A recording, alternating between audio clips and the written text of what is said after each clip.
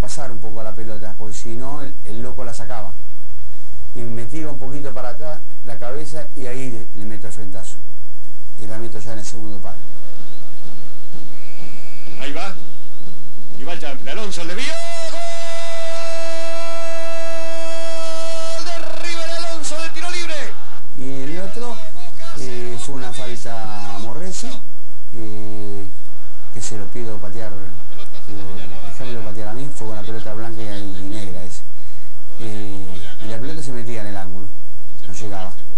Y mete la mano Pasucci y empieza a agarrar todo el efecto y le cambia de palo a, al loco. Alonso se perfila para poner un zurdazo.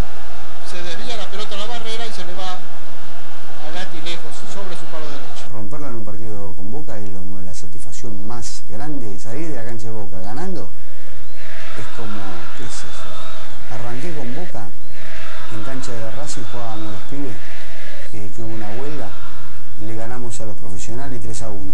Arranqué ganando y me fui ganando. Eso no tiene precio y no doy más revancha.